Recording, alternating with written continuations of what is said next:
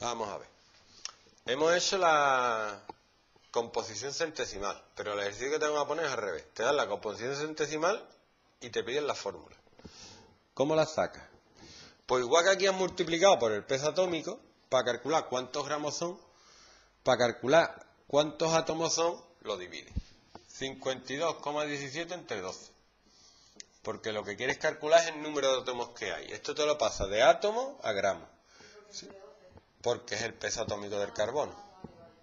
Así aquí multiplicado para calcular los gramos, lo que hago es dividir para calcular una cantidad así rara, que es la cantidad de carbono que hay en relación de átomos. 13,04 mm. entre 1 y 34,78 entre 16. Y ahora te coges tú y haces estas cuentas.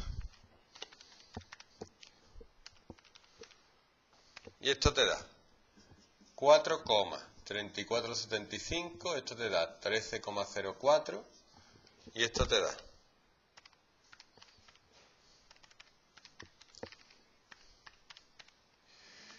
2,17375. Esa es la relación entre los átomos, pero eso está muy feo. Para lo que hago es dividirlo todo entre el más pequeño. Tú dirás, ¿y qué me sale si lo divido yo todo entre el más pequeño? Algo saldrá.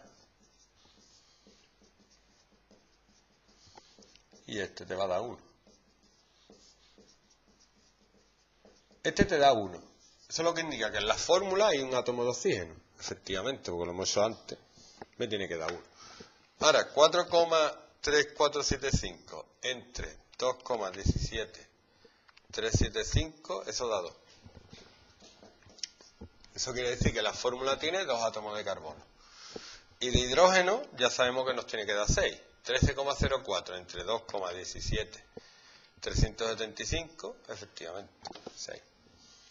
Por eso quiere decir que la fórmula empírica es C2H6O, que coincide con la fórmula molecular, pero ahora vamos a ver la diferencia que hay entre